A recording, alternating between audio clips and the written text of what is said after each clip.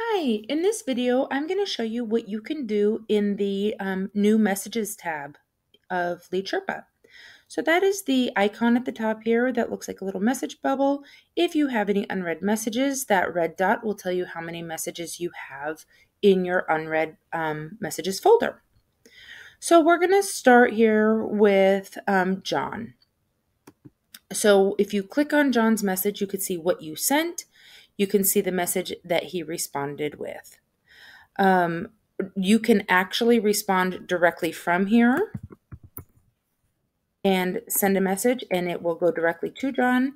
If you wanted to set up a, um, a quick reply, so let's say you type out a message, you can add it as a quick reply and save it for future use. So if you find yourself saying the same thing over and over again, you can set up those quick replies and, um, and make that response a little bit quicker for you.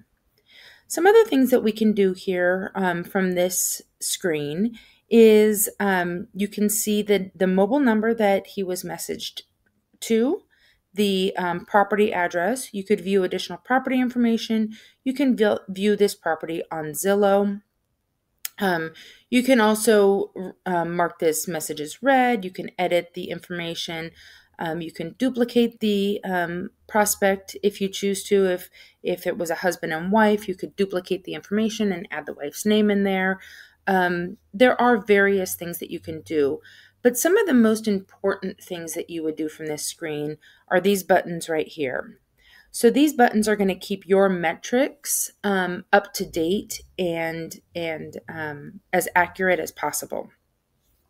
So with John, um, based on his uh, response, he says, I might be. Who is this?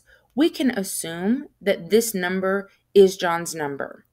If you feel confident that you um, have found the, the right number for this owner, you would just click verified and mark it as such. What this does is it verifies this phone number associated with this prospect. So any other numbers that you were attempting to reach John at would no longer receive messages from Lead Sherpa um, for this property. So that would keep your daily send messages, um, your daily send limit down to just those those messages um, that are verified owners.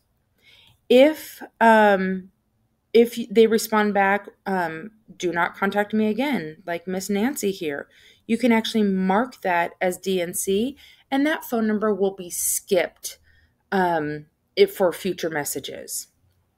If you find that um, you do have a very interested party, you could mark that as priority.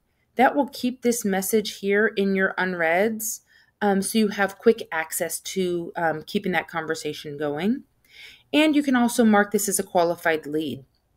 This is very important for metrics uh, to determine how many leads were generated uh, through Lead Sherpa, as well as um, as keeping your your data clean for those qualified uh, leads.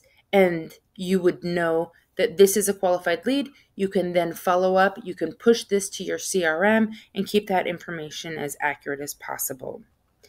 If you have any further questions regarding the new messages tab please reach out to support at leadsherpa.com and we would be more than happy to answer any questions you have